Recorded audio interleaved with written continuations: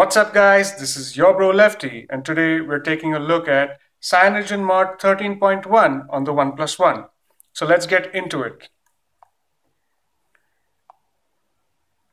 As you can see I've got the new update which is ZNH2KAS1KN.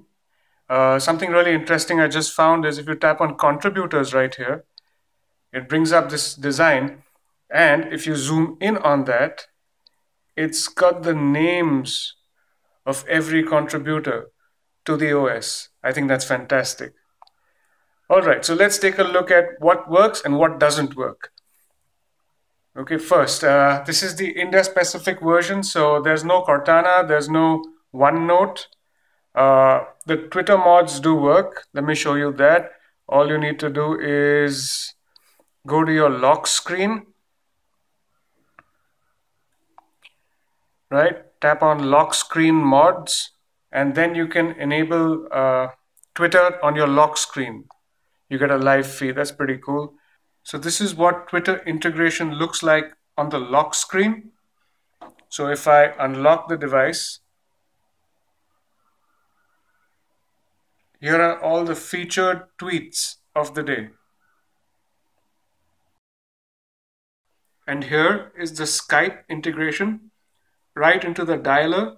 So if I open my dialer, I see uh, this little notification here which says make free Skype to Skype calls over Wi-Fi or add Skype credit for low-cost calls to any phone. And there's an option right there to add credit right from within the dialer itself.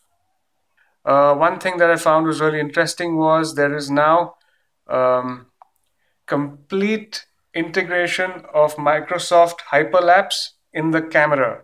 All right. So if you look to the bottom left right here, let me just cover that there. You can see a little mode button.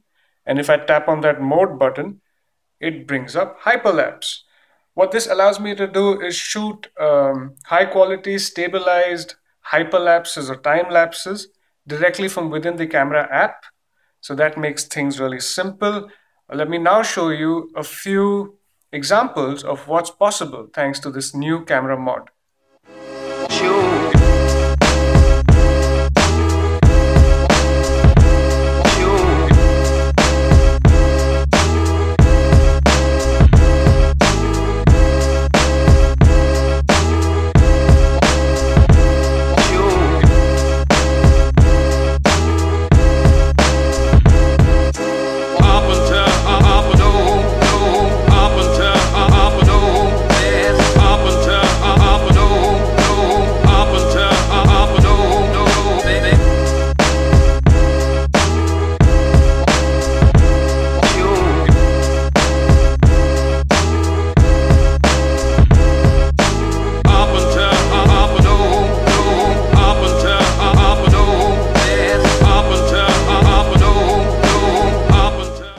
So here's something else that's really cool.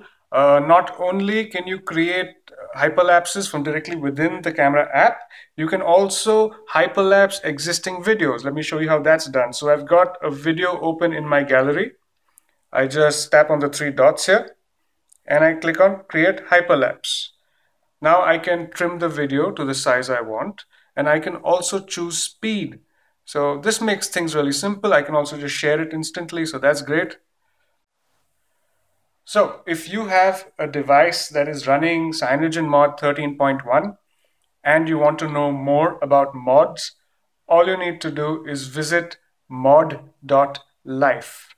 Here you can get all the information you need.